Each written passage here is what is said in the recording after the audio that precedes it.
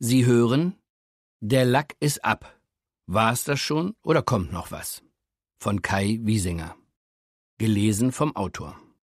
Mit der Gaststimme von Bettina Zimmermann. Ein Hörbuch des Argon Verlags.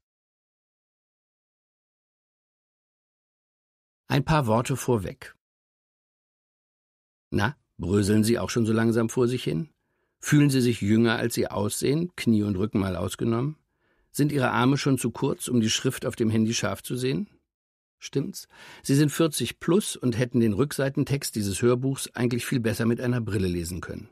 Sie haben auch das Modell mit 0,5 oder, wenn Sie schon 45 sind, das mit 1,5 Dioptrien in der Drogerie oder am Flughafen gekauft, aber Sie haben sich noch nicht daran gewöhnt und ist folglich nicht immer dabei.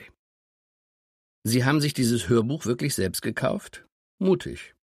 Dafür verspreche ich Ihnen, hier finden Sie ehrliche Antworten auf viele Fragen, die Sie sich seit kurzem stellen. Und Sie gewinnen die tröstliche Gewissheit, dass Sie mit dem Scheiß nicht alleine sind. Wir alle fühlen uns viel jünger, als wir tatsächlich sind, und wir alle fragen uns, was ab der Mitte des Lebens denn eigentlich noch kommt und wie wir mit unserem Zustand am besten umgehen sollen. Aber wer kauft schon ein Hörbuch mit dem Titel Der Lack ist ab für sich selbst? Im Darknet vielleicht. Den meisten Männern wäre ein solcher Kauf unter den Augen von Millionen glücklichen, jungen, supercoolen und erfolgreichen, nie alternden Menschen wohl ebenso peinlich wie die Frage nach extra kleinen Kondomen. Ich gehe also davon aus, dass Sie dieses Hörbuch geschenkt bekommen haben, von einem Freund oder einer lieben Freundin, die originell sein wollten und auf das gemeinsame Alter anspielen.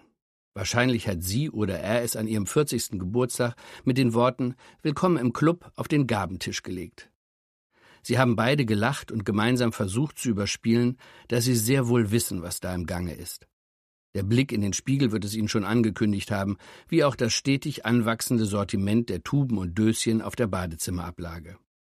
Doch Sie haben Glück. Sie haben jetzt dieses Hörbuch. Es ist ein wichtiges Hörbuch, zumindest für mich, denn ich glaube, dass wir in einer Gesellschaft leben, die uns permanent auffordert, die Wahrheit zu verdrängen. Und darauf dürfen wir uns nicht einlassen. Wofür stehen wir Männer denn noch, wenn wir nicht einmal mehr zu uns selbst stehen? Bis vor kurzem war alles noch so klar. Es ging fast ausschließlich um Sex und ein bisschen um Geld und Macht und anderen Spaß, aber mit zunehmendem Alter hat sich da etwas verschoben und unser Selbstbild stimmt nur noch bedingt mit dem Spiegel überein. Unsere Hülle beginnt den Geist aufzugeben. Und es sind leider nicht nur die Äußerlichkeiten, die wir anders in Erinnerung haben, wir funktionieren auch nicht mehr so reibungslos wie einst. Noch ist es kaum spürbar, doch es bröselt an und in uns so langsam vor sich hin, bis wir aufgeben, den Jungen das Feld und die Frauen überlassen und den nächsten großen und letzten Aufschlag erst wieder als Opa haben. Was klingt wie ein böser Traum, hätte noch bis eben ihr Leben werden können, doch jetzt wird alles gut. Sie werden durch die folgenden Kapitel erwachen. Sie werden erkennen, dass unsere große Chance die Wahrheit ist. Machen wir uns nichts vor. Das Leben ist endlich und dauert nicht sehr lange. Jedenfalls nicht so lange, wie ich früher dachte. Es kann einem eine Menge Mist begegnen und wir können viele falsche Entscheidungen treffen. Das Dümmste aber wäre, jetzt klein beizugeben. Machen wir also das Gegenteil. Visier hochklappen und let's face it. Wir sind neuerdings in einem Club, dem keiner freiwillig beitritt, zu dem aber alle eines Tages gehören werden der einzige Verein ohne Mitgliedsausweis oder besondere Privilegien, die größte weltumspannende Gruppe von Menschen, die in einem Boot sitzt. Die Überfahrt aus dem Paradies der Jugend, ganz plötzlich, ohne Vorwarnung und ohne Ticket unterwegs, in einer immer unschärfere Zukunft, gepflastert mit Rücken- und Trennungsschmerz, Kameras in den Gedärmen und verfolgt von der Frage, ob man mit dem Partner noch etwas anfangen kann, wenn die Kinder aus dem Haus sind.